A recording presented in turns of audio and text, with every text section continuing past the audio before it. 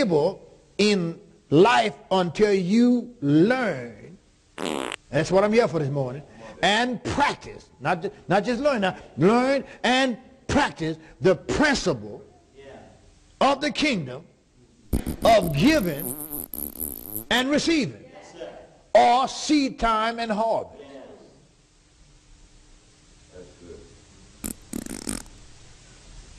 Matthew chapter 11.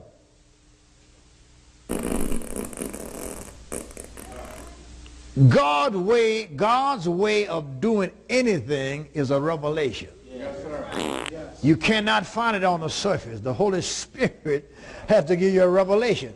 God's ways of doing things is how? By revelation, right? By revelation. And then you, we have the ability, because we are born of God, to receive revelation. God has to reveal himself to us. You understand? Yeah, you just can't read up on God. God, the Holy Spirit, has to breathe, Yeah.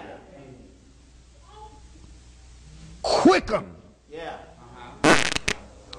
We have to come alive in an area that the Spirit, only the Spirit can bring us into that area. Y'all listen to me?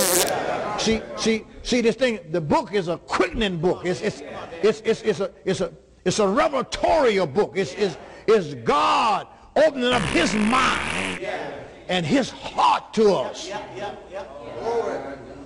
Some people just hear God's mouth. They just hear God's mouth. They don't hear. They don't hear God in His depth. They don't. They never. God. They never went down in God's heart yet.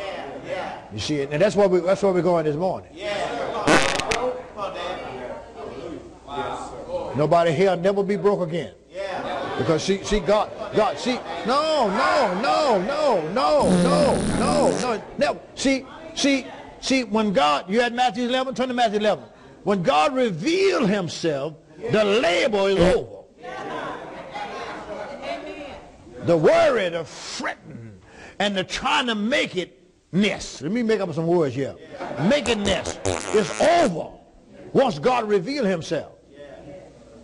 All of your financial laboring is over once God revealed himself. Because when you do it like God tell you to do it, he snatched you off this system. See, I live in this world financially, but I'm not of this world financially. This world will not dictate to me what I can have, where I can go, or how I can live, because I'm living on another level. How many ready to go to another level? How, come on, let me see your hand. How many ready to go to another level? You're here because the Holy Spirit is about to promote you to another level. I'm telling you, if you, if you believe me, believe the Lord thy God shall be established. Believe his prophet, and you shall prosper.